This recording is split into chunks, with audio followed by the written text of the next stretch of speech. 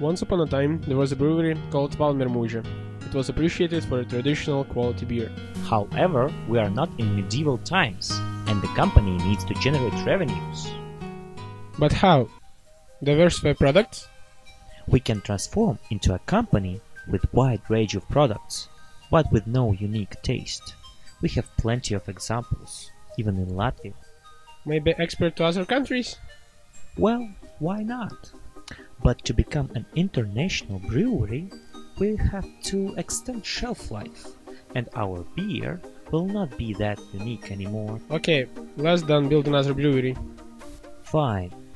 It will guarantee us more sales in summer, but we will struggle even more during winter season. So what we actually had in mind, an idea well known to everyone, but not used. Warm spicy beer. You ask what is all about? We will show you a little experiment that we conducted in our labs.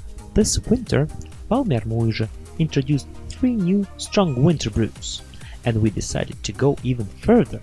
Instead of just drinking strong beer, we added different ingredients to spice things up. Cinnamon, lemon zest, honey, cloves, milk, and egg yolk. Everything went inside.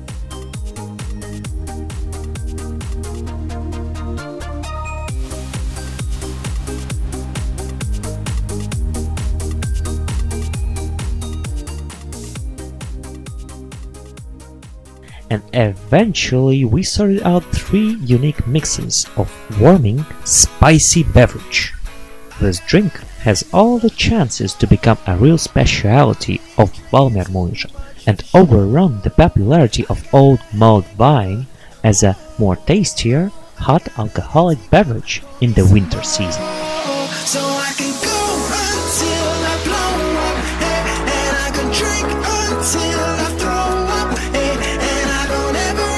Наша правоохранительная деятельность.